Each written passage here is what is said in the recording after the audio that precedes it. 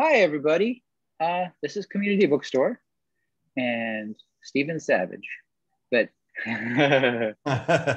Hello. hi, um, we are here to introduce the new book. Oh, along came hope, and then came hope. It's- There it is. Then It- Came and Hope. then came hope. Yeah, and you have Is- to hold it just right. Just right, or it blends in the, with the Or it background. disappears. Yeah, Is hope in classic ship sense a she? She is. She Yes. is. Yes. Um, yeah, we wanted her to be. I mean, it fit with the convention, but also it was nice that she was a she. We imagined her to be, you know, a, a, a female doctor, and I would say most of my doctors right now are are women. But Good. Yeah. Yeah. Um, I should get some logistics out of the way. This is Community Bookstore. Uh, we are what we have the book on sale. This is a usual kind of presentation where Stephen will probably read from the book, and afterwards we'll do some sort of demonstration, probably drawing rather than handstands because that doesn't work so well on Zoom. And uh, exactly, and then we will open it up for questions if you have any, and then we'll all be on our merry ways. great. So over to you, Stephen. All right. Thanks so much, Philip. And I'm, you know, you get, you know, you guys are my favorite local bookstore. You are my go-to bookstore when I Yeah, yeah. You're right up the hill. I just go up, I just go up the hill, take a left, and you're right there, and you have the book that I want. So I and I can't wait to get back in and to see um, to do you know another event, another live event. But in the meantime, we'll all meet here in Zoom. But I encourage everybody to um, certainly everybody in Park Slope to go visit community because those guys and and girls are great at that bookstore. But listen, I want to share with you my newest book, and I've brought a number of books to um, Community Bookstore to share. I'll show you some of them. Um, yeah, the new book is called And Then Came Hope, of course. And I'm going to read part of the book and then I'm going to share some of the story of the book because it's actually got an interesting little backstory. I was inspired by a real ship called the SS Hope, and I'll tell you about them uh, in just a sec. Um, I want to give a big shout out to my publisher, Holiday House, and Neil Porter, the publishers of the book. And that is actually Mr. Porter there at the bottom with his captain captain's hat on. And then my um, art director, Jennifer, and the three of us would meet. You know, we did this book during lockdown. So we would meet um, during, we would have Zooms and we would work on the book the way everybody was working, um, way a lot of people were working, unless you had to unless you were an essential worker and you needed to go out and be outside. Um, big shout out also to Project Hope, and I'll um, I'll explain who they are. They they are the um, the medical organization that has followed in the footsteps of the ship, and I'll I'll get into that in a in a sec. But if if anyone from Project Hope is listening, big huge shout out. They've been big supporters of the book. So as I was saying, I was inspired by a real hospital ship um, called the SS Hope. And this is not the SS Hope. This is actually the USNS Comfort, which is a um, Navy hospital ship that steamed into New York Harbor last, it was actually March 30th when it came into the harbor. And I'm a huge ship aficionado fan. And I also like, um, I've done a number of vehicle books. I did a book called Super Truck and Little Tugs. I love ships and things that go. And I had to, I decided I had to um, head over to, Huds- to the Hudson River docks and check out the USNS Comfort. And a light bulb went off, and I thought, hmm, maybe it's time for me to do a ship, a hospital ship book. And I did some, oh, so I was mentioning I've done a number of vehicle books, um, actually for my good friend Neil Porter. And uh, yeah, I thought maybe it's time to do a hospital ship. I had that light bulb moment. I thought that might make a nice and also you know we were in lockdown and and the we were all thinking about the pandemic and thinking about who the real heroes of the moment were and still are doctors and nurses and paramedics and first responders. And so i thought of this as a good good chance to give a shout out to those to those healthcare heroes. Let me i'll share a little bit of the the book with you. Um, begins the boats in the harbor weren't feeling well. First, barge got bonked. And if you want, if you're listening out there and you want to have something bonk your head, you can just, ooh, that hurts. The submarine started shivering. Now, I remember last time I was shivering, which was about a year ago. I'm not sure if I had COVID 19 or not, but I had something and I was very cold and I was shivering. So I decided to put that in the book. And I also felt feverish at the same time. So I put that also in the book. The, the ferry felt feverish. She was steaming. Aircraft carrier coughed. You ready, everybody? Excuse me. Oh, and little Dory's nose was dripping. She needed to see the doctor. So you can see we have very big boats, and then we've got the smallest boat in the harbor, little Dory. They're all not feeling well. So they put out the call, and you may recognize those letters SOS. That means please help. And then came Hope. So Hope is there outside of the bridge, and she sees those uh, SOS letters and steams into the harbor. And you'll have to pick up the book or check it out to see what happens. But you can guess that she goes and rescues all of those ailing ships in the harbor because she is the hero hospital ship, the SS Hope. So the SS Hope was a real ship. So I saw the Comfort, the USNS Comfort, and then I started doing some research and found an even more cool ship called the called the, the SS Hope, and it was a peacetime hospital ship that had these the word hope painted right on the side, and I love that because I'm a big type guy. So it was a floating hospital ship. It's not doesn't it's been decommissioned, retired, doesn't exist anymore. Um, but it was a it was a white hospital ship the way they often are, and it was a floating hospital. Had doctors and nurses on board. Little factoid that you can share with your friends Julia Louis Dreyfus, the actress, was on board as a child because her stepfather was a physician. So that was pretty cool. So I, I really enjoyed getting to know the ship and getting to know its amazing history. And the word hope, we love, I love the word hope. Can't beat that word. And we all need hope right now. But hope is actually, in, in the context of the ship, is an acronym health opportunities for people everywhere. And what you're looking at here is a milk carton that the um, ship. The ship produced milk. It had a big milk making machine on board called the Iron Cow, and it would steam into a harbor. It would go to Indonesia or or Nicaragua or some port of call where people needed its help. And a lot of times it would give out these cartons of milk to kids. So, and then the last slide I want to show is, you know, I can relate to a hospital ship and I can relate and really appreciate healthcare workers because whenever I get sick, or this is my daughter Chloe, who broke her arm um, several times when she was little because she's a kid. She was running around, she broke her arm, and I was so worried. And we took her to the doctor, and the doctors took care of it. So I tell everybody, don't worry. If you get sick, the SS Hope will come rescue you. Or if the if the Hope is busy, your physician, your paramedic, your doctor will come and everything will be okay. And uh, yeah, that's a little bit about the ship. And I thought I could, because I am an illustrator, I've got to share with you a drawing.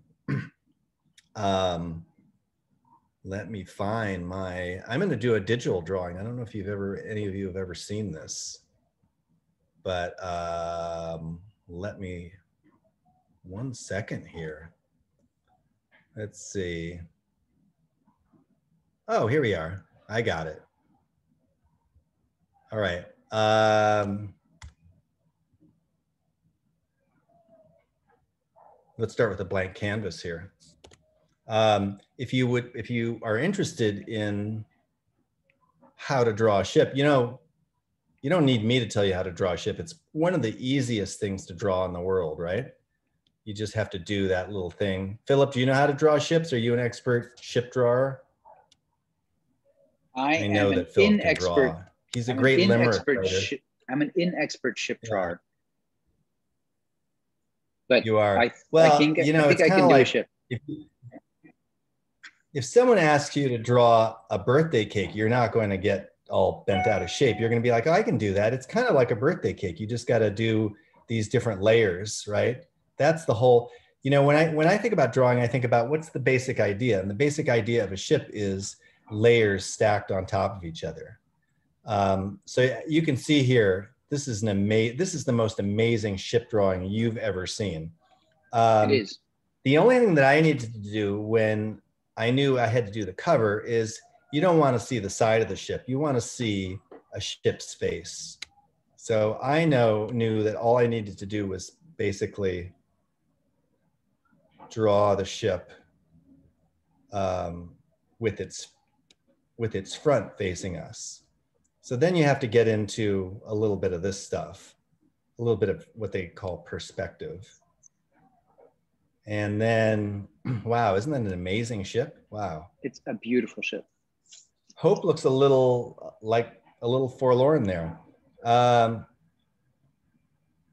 the trick with with working on her was making sure that she looked very content and also very capable at the same time. So um, that's my very, very quick drawing. And you all know I'm using a stylus here, if you can all see it here.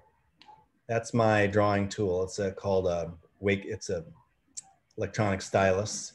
And then this is my, this is what I'm actually drawing on. I'm gonna hold it in a way that you can see it. It's a black tablet right there. It's called a Wacom tablet.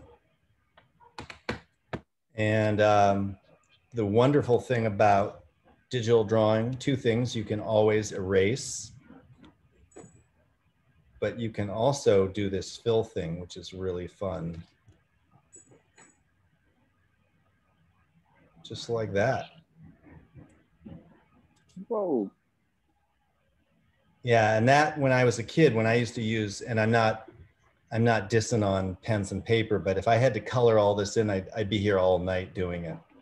But the pen allows you to do things like, you know, write to create white lines over dark, which would be really, really hard because you'd have to do a lot of coloring of the background. Um, so that's my very, very quick ship.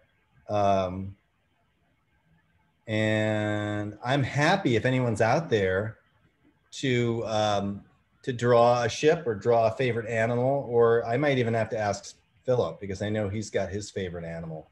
You um, may have to ask me. Well, yeah. before you before yeah. you draw, I was noticing that SOS has your initials on the outside. Yes. All we need again. is that your SOS is Stephen Savage if your middle name were Oliver or Otto. It's not, is it? It's not. It's ah. actually it is actually uh, I'll tell you what it is. I'll draw it for you. Can you? Am I still screen sharing here or no? No. Oh, let me do that.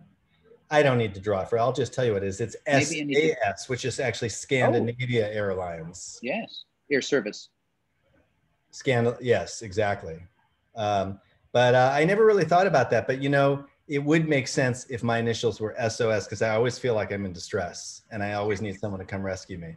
So I might want to just go ahead and change it, my middle name from Andrew. I'm not crazy about Oliver. No offense to Olivers out there, but maybe um, Orville. Orville's a good one. Okay. Yes. Stephen Orville Savage. Let's do Old it right school. Now. Yeah. yeah. So, but you wanted a favorite animal. Yeah. What's I your favorite say, animal? Um, it depends on the but I am a fan of ducks. I, yeah. You're you're a fan of ducks? I like ducks, ducks and chickens. Know, I didn't know this about you. I really. No, I feel I felt pressured. I was thinking water, but if I really have to, I, donkeys I like yeah. a lot, and goats. Donkeys, somehow, great. Yeah. yeah. You know, it's funny. You know what I think of when I think of when I think of a duck. I heard a story mm-hmm. once. I gosh, I, I and and I'm the story is just popping in my head, so I don't know the origin of the story. But it was um, it was a quote from a Japanese artist who was like in his 80s or something. I don't know if he was. an, I don't know if it, was Hiroshige or one of those old wood woodblock artists, mm-hmm. but he had said that he didn't know how to really draw a duck until he was in his 80s. And somebody said, "You've been an artist for the last 60 years. What do you, you've always been drawing ducks?" And he said, Yeah, I was always doing kind of like an impression of a duck, but it wasn't until I was 80 that I could do like I could draw it and it was a duck. It was com- a com- completely the essence of duck. It Wow. took me 60 years. It's a very, very sort of Japanese concept. It's like mastering something like a duck takes 60 years before you before it's the perfect duck and it's not just your impression of a duck, you know. So it's kind of it's almost like a Jedi thing or something. But this is this is not actually a duck. So this is like a duck ship, I think. It really Yeah. the back here doesn't really look like. So why don't we just take that idea here uh, a little further, and it will be like a gigantic Yes. of a Trojan horse, it's like a Trojan duck that is sailing. And remember my eraser tool. I want to, I want to, or maybe I'll use this one. And you know what they say? They say, Beautiful. they say the happy accident is what is what get gets you to that, you know, strange new in, artistic invention. Let's put Yeah. a little railing on here. I love it. and maybe it's a little bit he's a little bit more fierce now Yes. fierce Yes. failing shift we probably could use some scale um, if we really wanted to um, to really push that into a giant ship or maybe it's like a small sort of like a bathtub toy. Um, but um, let me fix that. And then you know what you can do is what's always fun is you can do if you it's i don't know how um, bob ross did it we're talking and drawing it's like two parts of the two different parts of the brain it's very very hard to do it's like when you're driving and someone wants you to have a conversation and you're Yeah. you can't you're like i got to get through this intersection before i answer that question and it's a little bit that way I have a feeling you may be a little more stuck than Bob Ross because you have to interact with your computer so much to change. You, you're not just true. using one one brush and one bit of uh, oil paint. That's a very, very good point. You're not just using your hands, you're actually having to work the machine too, a little bit like driving, where you're having to like, where's the turning signal and all that. There's my duck. I don't know if you want, if that was what you were thinking, like a duck ship, but It's uh, like you were reading my mind. That's exactly what I was thinking. A duck ship with two sails. yes. Um, and let's call this, let's really call this.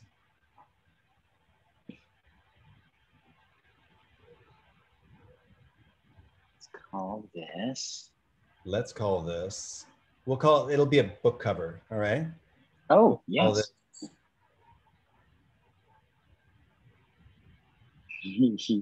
Phil's um, was bath time. Phil's bath time.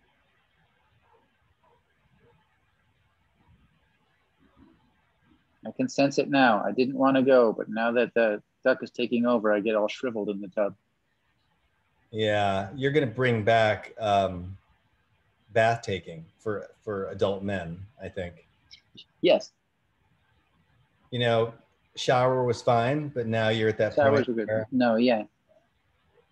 Well, you can't play with duck ships in the shower. you can't you can't play at all really in the shower, and that's one of the things that really is missing from the shower experience. So there we have it. There we have that's and so I will frame this giclée print, send it to you. You'll have it in three days. All right. Yes, a mug. Yeah. Four dollars and fifty cents. Perfect. That's all. Yeah. Um, cool. Um, do well, you do you sail or have No, you done no. that kind of thing? It's funny. Somebody asked me they because now I've done two hmm uh, boat books. I did Little Tug. Now I did this, and I love boats, but I'm actually not great on the water. So you like I'm- watching them? I like watching them, and I'd be fine out in the harbor. But as soon as we go through the Verrazano Narrows Bridge and I'm out in the swells, I'm not Mhm. great in the swells. I remember the last time I had to take a fer- I was in Maine, and I had to take a ferry from the mainland to a to an island, and I Mhm. started to get a little bit wavy. Um, so that's why, yeah. And I'm actually um, not if if it gets bumpy on the airplane too, and I'm the same way. So I need to be on a very, very even ship and an even airplane, um, or just stay on land and stay in my studio and draw things. That's probably the best thing. But um, but I love ships. I think they're absolutely amazing. When I was a kid, I used to I used to build models of ships. I was into you know there was an aircraft carrier model that I did. I think it was like the Enterprise, and then I also um, loved the USS Constitution, that old sailing ship. Um, so, were these the were these the plastic kits that you then yeah, used the glue or okay. kits with the glue? Yeah. Yeah. So, but something about the, you know, the scale of them and all the little details and just the, you know, they're like castles. They're like these, they're kind of floating castles. This so, event's about um, you, not me. But so I, yeah, I was, had one. Sorry, I had one that was like a sailing ship, and the threads took forever because yeah. uh, it, the rigging. There's no way. I, I had to give up. There was way too much rigging. Oh yeah, yeah. I don't know how I I, I I'm like kids these days, I don't think they would, I don't know if they would have the patience to do that because like you have to, to get to the end of your model kit requires that you stick with it for several weeks. And yeah, it's easy to, to make mistakes, but um, yeah. And I also did, um, I also painted ships as a kid too. So I have a painting, Ooh. I have it somewhere. I have it. I, I, I think I have it on my website. I have a painting of the uh, monitor and the Merrimack, the to say the ironclads from the Civil War and they're fighting. Uh-huh. Nice. Uh, yeah, and I did that actually for extra credit in a history class because I was not doing well in the class. And then the teacher said, if you want to pass the class, you could do a painting. So he kind of refocused my efforts, which was kind of smart of him to do that.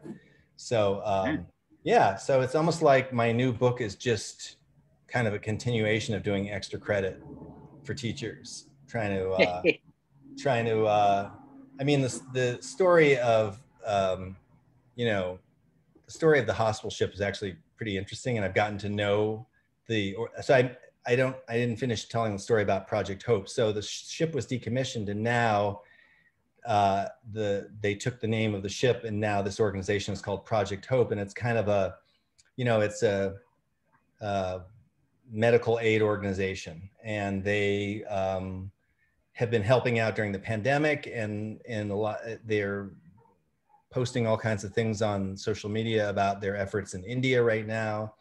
And whenever there's a crisis when there was a huge crisis in Beirut recently and they were there. So um, so it's been great to get to know them. They've been very supportive of the of the book.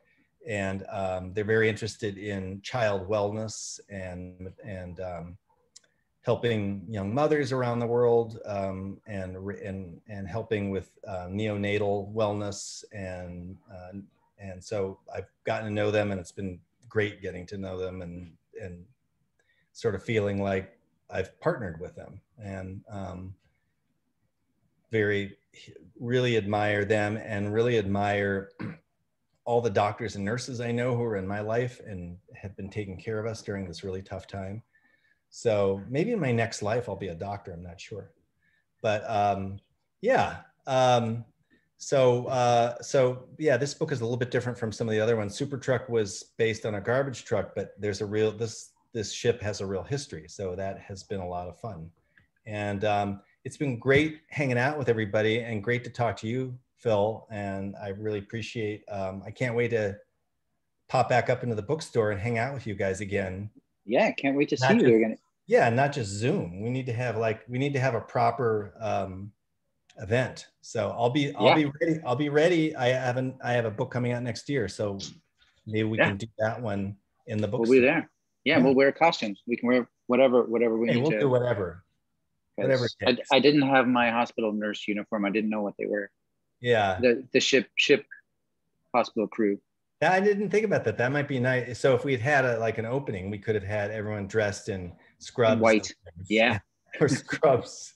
Yeah, that would be fun. That would have been great. Yeah, cool. All right. All right. Well, if so you stop you, screen sharing. Oh yeah. Are you happy with the with your um, duck ship? I, I am. I am very happy with the duck ship. I like that you made it. I think there's something there. I think that could be. Hey, listen, is it if this turns Huh? Yeah, it is cranky. He's seasick like me, maybe. Maybe that's going on. That's even so, better. A seasick yeah. duck ship. Yeah. Very cool. Um, well, it's been fun hanging out. Yeah, Yeah. I think so too. yeah. Thank yeah. you for sharing your book with us. Sure. It is- yeah. it is very lovely, and Thank you very much. the, the way you use light in it, even because you're very minimal with the elements you have, Yes. and it, it's just turns out really well every time. I wanted to share before we go. I wanted to show you one thing here. I'm just taking off my virtual background here. One more thing. Yeah, one more thing. Um, the book kind of thing? actually has at the Uh-huh. end, and this is might be fun for parents and librarians. The history that I was just talking about is, is on Yes. the last page. There's a little afterward, which is something that you don't always see in picture books. So it's got the fun story, but then it actually has the the, the history there, and you can see. You can it, there it is docked in Philadelphia, and you can see the little suspension bridge there. So very cool. yeah, so you can so the older kids can learn a little bit about the ship as they read the book to their siblings, Younger to their kids. young brothers and sisters or whoever. Yeah, Nice. cool. Well, thank you so much, Right. Stephen. Thank you. It was great. It was great hanging out, and we'll we'll we'll talk soon. And I appreciate Yes. everybody um, listening. And you guys all get down to community bookstore and Get get. get, Hope. yourself some summer reading, please, and get Yes. a copy of Hope. Yeah. Yeah. Thank Cool. you, Stephen. All right. We'll, Thanks we'll so see you soon. Okay. Thank see you you. later. Okay. Bye. Bye.